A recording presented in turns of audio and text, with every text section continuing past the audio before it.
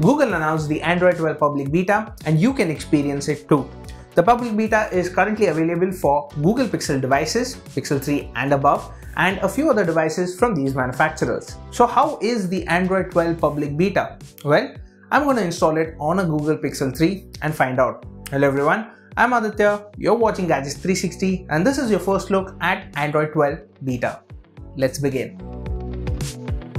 Android 12 brings with it a host of new features and a refreshing new design along with new animations, widgets, a modified lock screen and more. Google is also adding more security features for its users on Android 12 and you'll also get to tweak around with other aspects of the UI like the notifications and quick settings. Apart from Pixel phones, you can also download the public beta version of Android 12 on these devices. If your phone's not on the list, then tough luck. The process is quite simple if you're using a Google Pixel device. All you need to do is head over to the Android 12 beta website, the link's in the description, and you just need to enroll your device. Now, that is what I'm going to do with this one, the Google Pixel 3. You can check for the process of installing the beta version of any of the non-Google phones mentioned above by going to the manufacturer's links available on the Android developers site. On the website, you'll get instructions on how you can register. Once the registration is complete, the Android 12 Beta 1 will be available for download on your smartphone. You can also check the status of the download manually by going to Settings, System, System Update and check for update.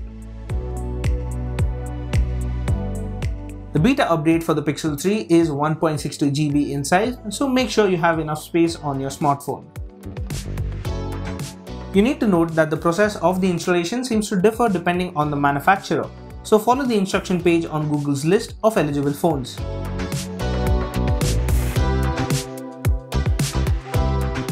Android 12 brings a refreshing design to its UI via Material You, which customizes the themes and color schemes of the phone based on your custom wallpapers. The Android 12 beta currently does not change color schemes based on the wallpaper, but you can manually customize it the way you like. You're now getting bigger buttons and different animations with some customizations in the notifications panel and you also get other elements like slide in and out with fade effects. The lock screen gets a major change as well. When you have no notifications, the clock occupies a majority of the screen, which looks cool. With pending notifications, the size of the clock is reduced and you can see these notifications in its place. You'll get new privacy features for the camera, mic and location.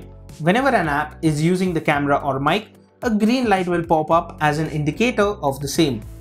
Google will also let you know when location tracking is on and will give you quick shortcuts to turn it off. This is a pretty cool feature, but it isn't currently available in the first beta that we are running on our Google Pixel 3. However, there's no update on if this puts a lid on app tracking yet.